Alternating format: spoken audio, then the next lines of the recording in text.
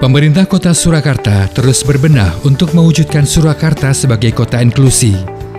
Adanya Peraturan Daerah Kota Surakarta Nomor 9 Tahun 2020 tentang kesetaraan difabel menunjukkan bahwa pemerintah Kota Surakarta sudah mempunyai komitmen untuk memperhatikan penyandang difabel.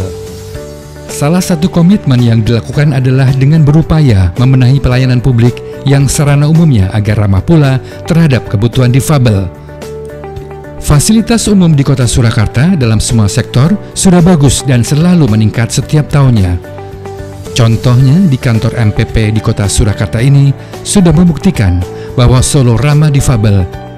Jika kita perhatikan, di kantor MPP sudah disediakan beram atau tangga landai dan lift sehingga memudahkan difabel melakukan aktivitas pengurusan berkas berkaitan dengan layanan OSS dan NIB tanpa terkena rute yang terlalu banyak anak tangga atau kemiringan jalan yang berlebih, serta pelayanan petugas yang bersahabat.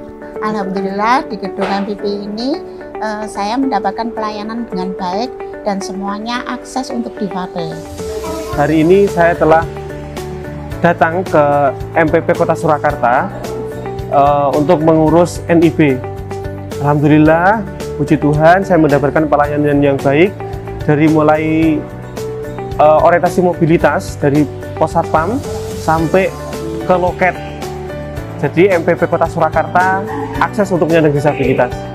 Pemerintah Kota Surakarta berkomitmen memberikan pemenuhan hak penyandang disabilitas selain aksesibilitas publik, sensitivitas atau kepekaan petugas layanan publik juga diberikan dalam melayani semua ragam disabilitas. Peran disabilitas pun dilibatkan dalam mendorong pemerintah Kota Surakarta untuk mewujudkan layanan yang inklusif dalam rangka memaksimalkan pelayanan kepada masyarakat dan melayani semua segmen masyarakat, BPMPT SP Kota Surakarta memaksimalkan pelayanan kepada difabel mulai dari saat mereka datang sampai dengan uh, selesainya pelayanan.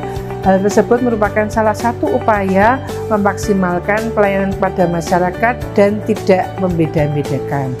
Dengan meningkatkan aksesibilitas layanan dan fasilitas umum yang dibutuhkan oleh difabel, berarti meningkatkan akses mereka ke pendidikan, pekerjaan, aktivitas ekonomi, aktivitas sosial, serta memperdayakan mereka untuk menjadi individu yang mandiri, yang juga berpartisipasi dalam komunitasnya, sehingga dapat mewujudkan kota Solo yang ramah difabel.